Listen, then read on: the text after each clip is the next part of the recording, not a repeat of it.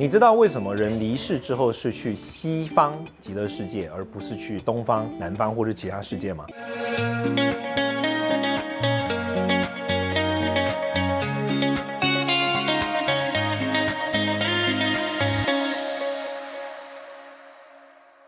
上一集提到了关于阿弥陀佛信仰。那么在阿弥陀佛信仰的时候呢，我们并不是从大家比较熟悉的念诵阿弥陀佛名号这个角度开始，我们是从阿弥陀佛信仰的根本，也就是所谓的观佛、念佛与见佛三个步骤来跟大家分享。所谓的观佛或念佛呢，是在阿弥陀佛信仰里面比较早期的一种模式，也就是透过想象或者说透过记得阿弥陀佛在做什么，他所在的位置，他所在的世界，他的光明，他的世界有什么样的状况等等等等这些方式来。去去意念，或者在佛教术语称之为存念，或者说去记得阿弥陀佛啊，这一系列是在我们上一支影片聊到的。那么今天呢，我们则要循着这个节奏往下谈，就是大家更熟悉的所谓称名念佛的方式。什么叫称名念佛？称名念佛的意思就是透过称呼他的名字，念诵阿弥陀佛，或是南无阿弥陀佛这四个字或六个字的单纯用嘴巴念诵这样子的信仰，在现在的汉传佛教或者说在华人世界的佛教中是特别常见的。那么这样子的修行。方式是怎么样变成主流的呢？就是我们今天要分享的内容了。如果以佛教历史来看啊，汉传佛教历史上呢，有几个比较重要的人物，他们对于阿弥陀佛信仰有非常非常重要的贡献。第一个特别有名的角色就是庐山慧远，或者叫做庐山慧远大师。他是公元四世纪的一个高僧，出生于指魏晋南北朝时期。如果如你了解历史的话，就会知道那个时候是天下大乱的时候。慧远大师住在庐山，所以被称为庐山慧远。他的老师呢，是当时东晋非常有名的一个高僧，叫道安。啊，我个人就是道安大师的狂粉啊。那题外话，道安大师他不是阿弥陀佛信仰的追随者，他个人比较喜欢的是兜率内院啊，就是弥勒菩萨的世界。如果你对弥勒菩萨的故事有兴趣的话，你可以去看我们之前讲弥勒菩萨的那一集。道安大师哦，在当时的汉传佛教或者说当时的佛教呢，可以说是教王啊，就是整个佛教的领袖。有几个主要的原因，第一个原因呢，当然是因为他这个智慧过人。他有一个绰号叫做弥天释道安，这个弥就是盖住的意思，所以弥天释道安指的是说道安哦，他的智慧哦能够与天同等，能够把天给盖住了。然后第二个呢，道安大师他是当时被称之为叫东方圣人，与同一时代来自现在的新疆，也就是古代的龟兹地方的最有名的翻译家鸠摩罗什，两个是平行的，一个是东方圣人，一个是西方圣人。那第三个道安大师他非常非常有远见，什么叫有远见呢？他那个年代佛教才刚刚开始萌芽，很多的佛经是。刚刚从印度甚至于新疆那个地方带到中国来，然而在这些佛经还没有完整翻译的情况之下，道安大师他就对于未来会翻译的佛经应该会有哪些走向有非常清楚的智慧与认知。举个最典型的例子来说，现代的所有的汉传佛教的出家人，他都会有姓氏嘛，就像我姓熊，一般人的姓氏嘛。那出家人姓什么呢？出家人姓释，释迦牟尼佛的释。这样子的一个规矩，就是道安大师当时定下的。当时哦，他在没有任何佛经支持的情况之下，他就有这种强烈的一种预感，佛弟子们出。家人呢，应该要姓释。后来翻译的佛经果然证明他的这个想法，叫做一统世姓嘛，就是说所有的出家人，不论你在家的时候来自什么家族，出家之后都进入了释迦牟尼这个家族啊。道安大师的故事说不完了，总之呢，你就听我这样讲，就知道我是非常非常喜欢他的。慧远呢，就是道安大师的一个重要弟子。那么当然，道安大师在历史上一个很重要的贡献，就是他同时向他当时所服务的君主说，一定要从西方邀请鸠摩罗什来到中国。鸠摩罗什是中国佛教翻译史上的四大译经家之一，甚至我个人认为是四大译经家之首。他被称之为七佛译师。什么叫七佛译师？不但他在现在释迦牟尼佛的这个时代作为特别杰出的译经家，在过去每一尊佛的时代，他都作为特别杰出的译经家。反正就是翻译王之最了。所有翻译家里面最厉害的这个角色。鸠摩罗什来到中国之后呢，非常不幸的啊，他没有跟道安本人亲自见到面。本来道安是很希望可以见到他一面，但是因为当时的战火还有当时的一些原因，鸠摩罗什来到。中国的时候，道安大师已经圆寂了。然而，道安大师的弟子们，特别是道安大师的传人们，他们全部都知道鸠摩罗什是一个伟大的大师，所以很多人呢就持续的去跟鸠摩罗什学习。在现存我们可以看到的这个《鸠摩罗什大义》里面，就可以看到有一段慧远跟鸠摩罗什的对话的问答录。在这个问答录里面呢，慧远就向鸠摩罗什学习了透过观想，我们之前讲的观佛来念佛的。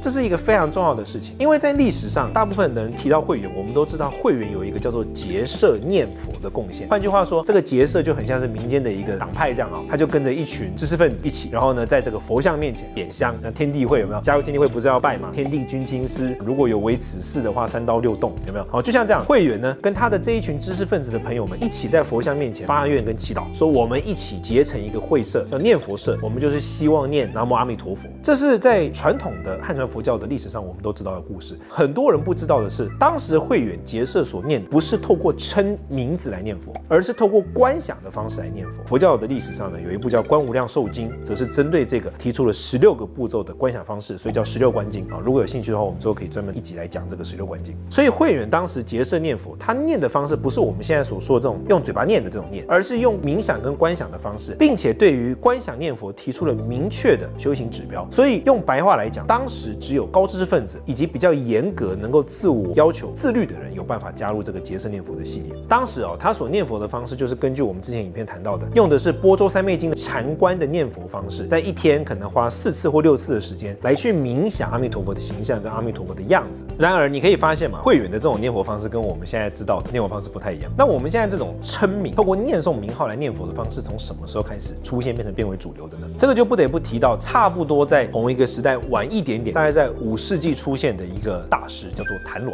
啊。东魏的孝敬帝称呼他为神鸾，梁武帝称他为肉身菩萨。谭鸾呢，就是我们现在称名念佛的这一个方法重要推广者。那当然，他不是自己去创造的，他根据的是一部非常重要的著作，就是龙树菩萨的《十住毗婆沙论》所写的。什么叫十住毗婆沙论？这个是来到之前我们在讲菩萨修行的时候有提到所谓的《华严经》嘛？那《华严经》提到了菩萨的修行是非常非常多元的。现在的学者考证呢，《华严经》这个系统呢，它最原始的样态啊，是一部叫做《十地经》的经典。然后在这个《十地经》的经典呢，就讲到说，菩萨的修行虽然有很多，但是它有一个按部就班修行的顺序。那么针对这个《十地经》的这部经典去进行的注解，就叫做《十住毗婆沙论》。所以你可以把它理解为它是菩萨修行的最早指南。这个是由传说由龙树菩萨亲自所写的。龙树菩萨在《十住毗婆沙论》里面有一品叫做异行品。简单来说就是捷径了，捷径品。在这个易行品里面哦，他讲了一个非常重要的观念，而这个观念的原型经过谭鸾的改造，变成了我们现在所谓的称名念佛的基础。我们要先回到十住毗婆沙论，或者说十地经那个时候所谓修菩萨的这种人，他们内心最关注的问题是什么？呃，如果你有学习大乘佛教，或者说你是所谓的菩萨的话，你就会知道，这个大乘佛教他最害怕的一个东西叫退转。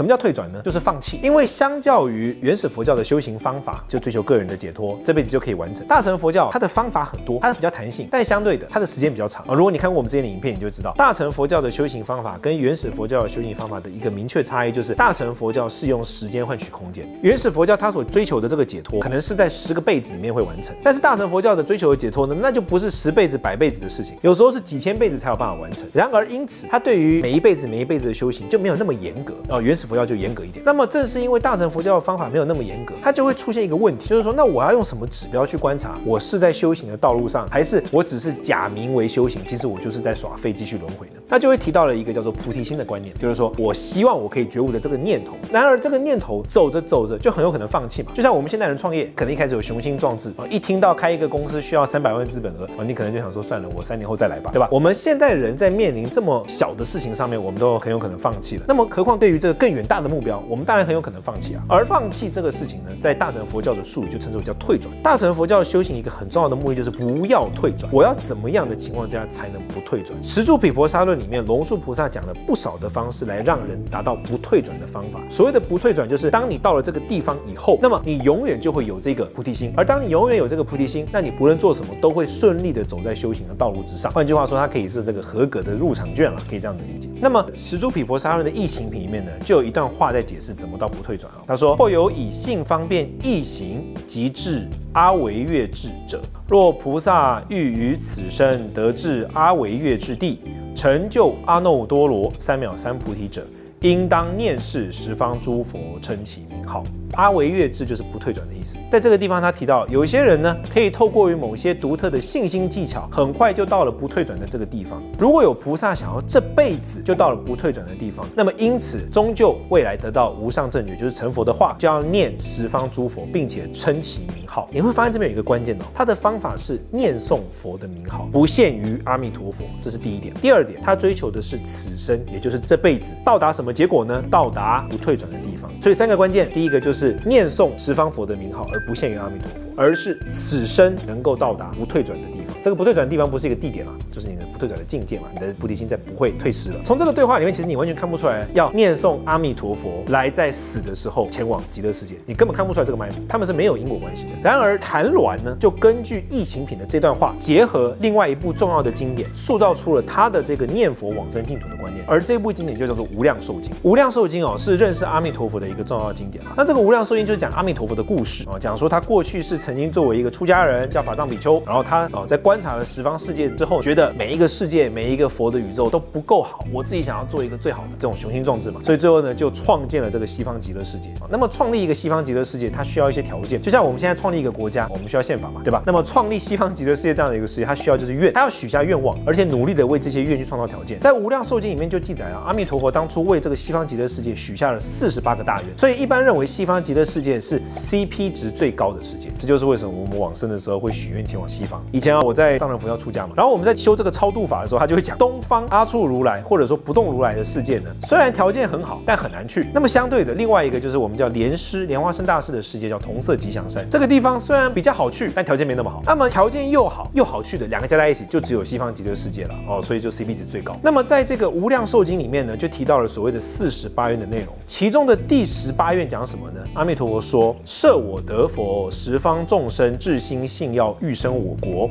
乃至十念若不得生者，不取正觉，唯除忤逆诽谤正法。这什么意思？当初的这一个法藏比丘，他就许愿说，未来我成佛的时候，任何人只要真心想要来到我的世界，念我的名号十次，就一定能够前来。简单是这样啦。这段愿文有非常非常复杂的这个佛经可以分析的结构啦。但这个愿文呢、它其实就体现出了一个非常非常重要的观念是什么呢？叫做他力救度。什么叫他力救度？我就算是个废物，因为阿弥陀佛就很厉害，白话有说就是这很了不起。所以呢，就算我是个废物，我仅仅是念诵他的名号，他也能把我救走。这叫做他力救度。他力救度是阿弥陀佛信仰的一个很大的特色，而且是基于这个第十八愿而来的。所以谭鸾就把这个他力救度的观念跟异形人的观念结合在一起了。无量寿经说，阿弥陀佛的名号，你只要念诵就能前往他的世界。而在异形品也提到了称名的方法，所以他就把称名跟往极乐世界合在一起。换句话说，就是念诵阿弥陀佛的名号，就能在死后前往极乐世界，是所有修行人最易行，也就是最简单的方式。这是一个谭鸾针对异形品与无量寿经结合的一种再解释。很少人知道这件事情，很多人都以为这个阿弥陀佛信仰是来自异形品，但全然不是这样子。谭鸾在他的著作里面说：“缘佛愿力故，十念念佛便得往生，得往生故，即免三界轮转之事。”什么意思？就是说，因为念念诵佛名，我就能够往生，往生之后我就不再轮回了。所以你可以发现，它的关键是什么？缘佛愿力，就是佛的愿，阿弥陀佛的愿。阿弥陀佛许了这个愿，所以我只要这么做就可以前往，有这样的一个意思。谭鸾在这个时候非常重要的贡献，就是他透过这一系列理论的演绎，提出了持名念佛的独特修行法。以前的所有念佛，就都是要跟观想念佛有些关系的哦，可能要想象极乐世界。但是谭鸾提出的就是光是念诵，只是用嘴巴念，你就算脑子什么都不想不懂，甚至于你是一个文盲，你完全不知道阿弥陀佛什么东西，仅仅是念阿弥陀佛，你就能够前往极乐世界。所以你有时候看到一些就是喜欢推广净土法门的这种团体，他们很喜欢分享鹦鹉念阿弥陀佛，那你听起来就是蛮反智的啊。但最主要原因就是因为对于这些人来说，称名念佛本身就够了这样的一个意愿在里面。当然，他这个称名念佛也不是凭空而来的，他根据的是另外一个重要的论是叫世亲论式的往生论。世亲论式的往生论里面讲到，想要往生净土有五种修行方式，其中一个叫做赞叹门。它里面说，第二赞叹门是称念净十方无碍光如来名号，所以用口中来赞叹与念诵的这个方式呢，就被谭鸾解释为这就是所谓称名念佛的根本。只要念用嘴巴念，那么跟用内心去观想，它的效果是一样的。所以透过谭鸾的改造，我们知道第一个，他认为念诵阿弥陀佛名号，死后往生极乐世界是最易于修行的方法。而这个念诵呢，一定会有很多人有争议啦。那我是只要用嘴巴念诵就好呢，还是我内心也要想象？谭鸾说不，只要用嘴巴念诵就够了。这个是谭鸾的重要贡献。那么在谭鸾的重要贡献之后，有另外一个更重要的大师，几乎可以说是这个净土宗就是念诵阿弥陀佛信仰的最重要的一个大师，就是善导。台湾人对善导寺一定特别熟悉，当然台北人是最熟悉的，因为我们的捷运站里面有一站叫善导寺站。善导寺站就是因为它旁边有一个善导寺啊。那为什么叫善导寺呢？因为他们就仰慕善导大师嘛。善导大师是隋代出生的，然后在唐代的时候圆寂，隋唐那个很短时间嘛，七世纪的大师。善导啊，他有几个特点，第一个据说他会称名念佛嘛，他念佛的时候呢，嘴巴会喷光，这画面有点奇怪了啊。但总之呢，不论他念多少佛号呢，嘴巴就会放多少光，所以当时的人就称他叫光明和尚啊。他过世之后呢，他自己的那个寺院就被高宗赐下了匾额，叫做光明寺，这是他的一个知名的一个修行的特色。当然我们不可否认啊，就是说佛教它还是对于就修行的过程中，这些大师能够展现出某种神机，对于大家更加信仰，那当然是还是很有帮助的。然而善导最重要的贡献就不是什么神机，而是他的一些思想特点。他曾经写过一些著作在解释这个阿弥陀佛净土信仰的。他的阿弥陀佛净土信仰有几个特色，第一个，如果你有在听我们刚才讲的话，你会发现啊，在印度的佛教里面呢，他提阿弥陀佛，可是他不会把西方这个阿弥陀佛拉到一个特别高的地方，他会把它放在十方，就是东方有佛，南方有佛，西方、北方，然后四个对角嘛，东北、西北、东南、西南，然后上下十个方位都各自有很多的佛，阿弥陀佛只是这一大堆佛的其中之一。然而从善导大师开始，他把阿弥陀佛的角色从这所有的佛中提高，高到什么程度呢？跟释迦牟尼佛平行。善导在他的《劝众发愿三宝经》里面说：“今成二尊教，广开净土门。”这什么意思？一般来说，我们都认为佛教就只有一尊嘛，就是释迦牟尼佛。然而他提出了二尊，就是阿弥陀佛跟释迦牟尼佛一样重要的观点。你不要以为这是一件小事情哦，这是一件非常大而且非常重要的事情。这样的一个作为哦，其实它就有一点点在分庭抗礼的意思，有点像是说释迦牟尼佛在世的时候说法四十九年，跟阿弥陀佛的存在所宣扬的教法，他们两个在天平上是平等的，甚至我们可以说他是在改造佛教，这是善导的第一个重要的贡献。那第二个重要的贡献呢，是他的观点哦，比较倾向于所谓的心外净土。什么叫心外净土？在此之前的所有念佛呢，它是一种比较像是心中净土的说法，因为这个是佛教的一个核心观念嘛。印度的这种佛教，他认为净土就在内心，我透过念佛，我最重要的是先改变我自己的内心啊，这是重点。可是呢，善导明确的提出了叫做指方立相的心外净土说。什么叫心外净土说？他就把这件事情想象为一个我在这个世界死后，然后我会投胎到一个外星球去。他把这个极乐世界哦，真正定义为外星的某一颗星啊，人类可能发展到某一天会发现到某一颗星球，完全跟极乐世界描述的一模一样，就在那里。这是善导的第二个特色，就是心外净土的观念。他所倡导心外净土的理论或者说观念哦，他所核心的一个意念叫做死尺。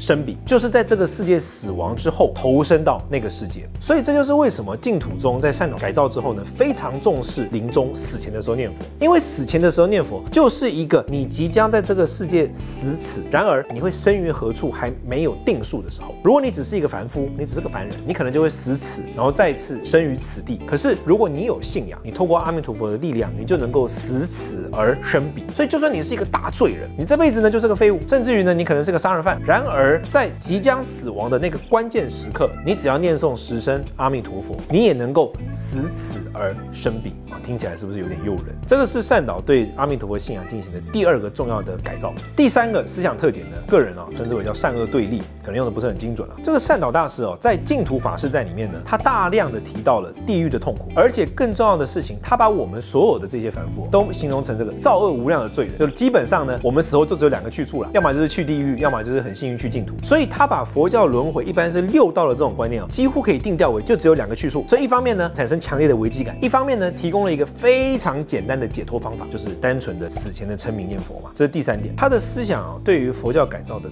最重要、最重要的就是第四点，所谓的正行杂行。什么叫正行杂行呢？他把佛教的所有修行方式归类为最有效的啊，效益次等跟没啥屁用的啊。当然白话不是这个意思啊，但这样翻译比较好理解嘛。他所写的《观经四帖书》里面说，行有二种，一者正行，二者者杂行。言正行者，专一往生行行者，是名正行。何者是也？一心专读诵此观经、弥陀经、无量寿经等，一心专注思念观察意念彼国，耳报庄严。若礼即一心专礼彼佛，若口称即一心专称彼佛，若赞叹供养即一心专赞叹供养，是名为正。简单来说，所有让你有助于你往生极乐世界的修行，那都叫正行。除此之外的全部都叫杂行。所以基本上呢，他就把所有传统原始佛教或大乘佛教所重视的一些修行方式，全部都判到杂行。如果我今天做这个禅修，跟我想要往生极乐世界没啥关系，杂行。我今天布施不是因为我想要往生极乐世界，而是因为我想要帮助别人，杂行。如果我今天读经不是为了想要往生极乐世界，是因为我想要更了了解释迦牟尼佛说了什么，不好意思，杂行。你所做的所为，只要跟极乐世界没啥关系，那就是杂行。甚至于在正行里面呢，它又分类为所谓的真正的正行跟助业。真正的正行呢，就是念诵阿弥陀佛名号是真正的正行。那么其他的一些什么礼拜佛陀啊、赞叹啊、读经啊，那都被称之为叫做助业，只是帮手。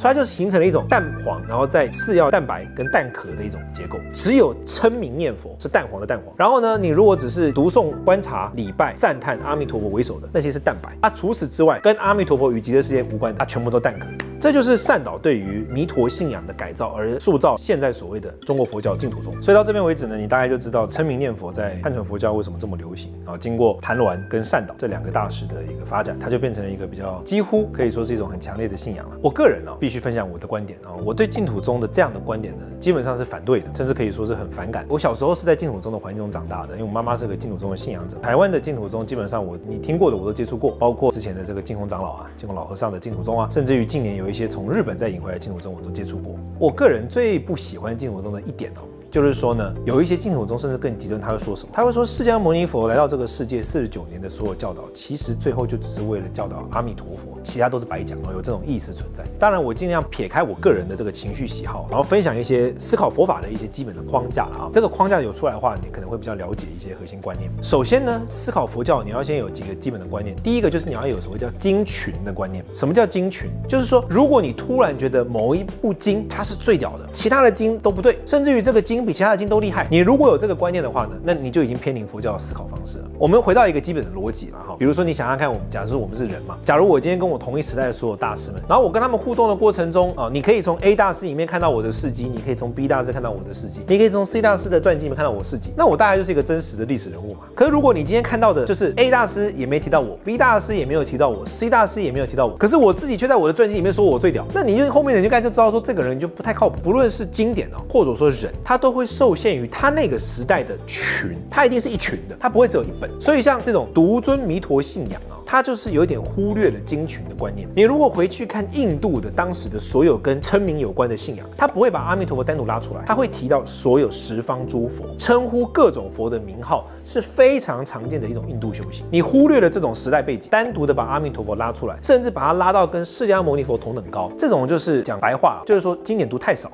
导致的一种结果。这当然不能怪谭鸾或者善导他们的那个时代，这是时代背景造成的。因为那个时代呢，佛经翻译的还没有很完善。那个时候是公元七世纪嘛，佛教在印度发展到了十三世纪，它才停止发展，因为伊斯兰教跑来了。如果你有看过这些所有的经典的发展背景，你就会比较了解说，哦，弥陀信仰的确很棒，但它绝对不会是释迦信仰或者说佛教信仰中最好的那个，甚至于超越其他一切。它是众多法门中的其中一个，这是第一个特点。第二个特点呢，就是说我们要有文化同温层的概念。什么叫文化同温层？现在很多人人在研究汉传佛教的东西，他会拿这个东西去跟汉传佛教的其他文献做对照，这个本身就有一点欠缺文化同温层。什么叫文化同温层？比如说，如果你想要研究阿弥陀佛信仰，你不应该把阿弥陀佛信仰跟汉传佛教或者说中国这个土地上的其他的信仰去做比较，你应该拿就是汉语的阿弥陀佛信仰跟藏语的阿弥陀佛信仰跟梵语所有的阿弥陀佛信仰去做对照，因为他们才是同温层。你把这个东西从印度跟西藏的文化背景拉走，然后让它跟中国本身去做研究的话，得出的结果就会什么呢？就这个是中国佛教的特色，你可以说是中国特色信仰，你不能说它是佛教。当然这个很搞笑了，因为最近就是近几年我们西边邻居一直在推动这个中国特色的宗教，社会主义环境之下的宗教，很多人反感这件事情，可他没有意识到说自己的信仰有没有可能也在这个情况之下。这第二点。那么第三点呢，就是说对于称名念佛的信仰本质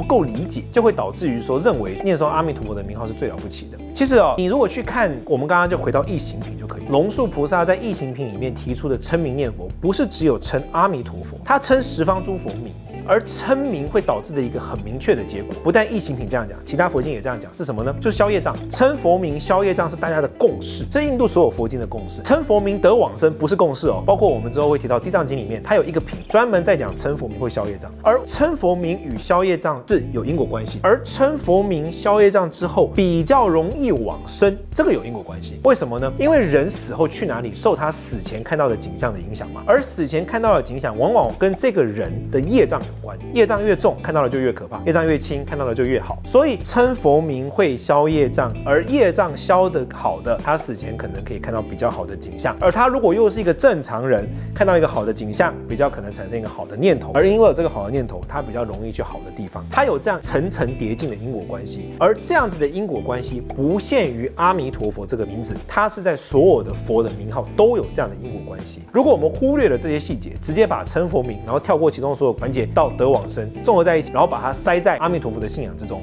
而且。讲一句更不客气的，因为不了解这里面的因果关系，就直接说啊，因为阿弥陀佛了不起，因为他有这个愿，所以做得到。那你会这样解释，其实就是因为你不知道怎么运作的嘛，就很简单的道理嘛。就好比说我今天不知道这件事怎么发生的，我就是说啊，这是神的奇迹啊，哦，这个关系是蛮像的，因为他不知道这里面的层层的因果关系，所以就直接把这件事情推导为，哦，那是因为阿弥陀佛的愿力。那这样的话呢，就让佛教的智慧的这种特质哦就丧失了，就更加的反智化。佛法的修行啊，它最重视什么呢？就重视因果。那因果观念是佛教的特点，或者说佛教最为重视的几个核心精神之一。不论是藏传佛教啊、印度佛教啊、中国佛教啊，所有宗派都重视这个事情。那我们就对于这里面的因果关系要有清楚的理解。这也是为什么在藏传佛教，它也推广阿弥陀佛信仰，可是它不会只推广阿弥陀佛信仰，因为它比较完整的继承了印度佛教对于佛经的记载，所以有非常多的佛名都能够有效的帮助我们消除业障。当然，阿弥陀佛可能是其中特别好的一个，原因是在于他的极乐世界很赞，是他的世界很赞，不是他的佛名本身很赞而已。所以如果对这个背景有理解的话呢，我们在看待佛法的时候就能够更加的宽容，跟对于背后的脉络有更加清楚的解释。那在藏传佛教中，其实更流行的是另。外一个很有名的信仰叫不动如来信仰啦，但这个我们会在之后的影片跟你聊。虽然我很想要接着聊不动如来信仰，可是关于不论是这个不动如来为首的这种东方信仰啦，或者说超度啦，或者说西方极乐世界的具体情况啊，都不是我下一集要聊的。因为呢，我下一集有一个来自南方的朋友，我觉得他快要等不住了。这个主题很多人在等，就是地藏菩萨。